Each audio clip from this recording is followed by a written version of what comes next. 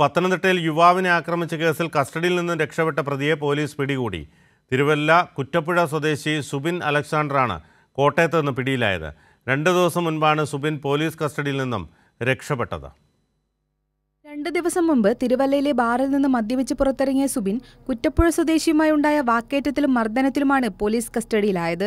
Thiruvalla police സ്റ്റേഷനിലെത്തിച്ച പ്രതി പിന്നീട് പോലീസിനെ വിട്ടിച്ച് രക്ഷപ്പെട്ടു. കാപ്പാ കേസ് ഉൾപ്പെടെയുള്ള നിരവധി ക്രിമിനൽ കേസിൽ പ്രതിയായ സുബിനെതിരെ പോലീസ് അന്വേഷണം ഊർജിതമാക്കിയിരുന്നു.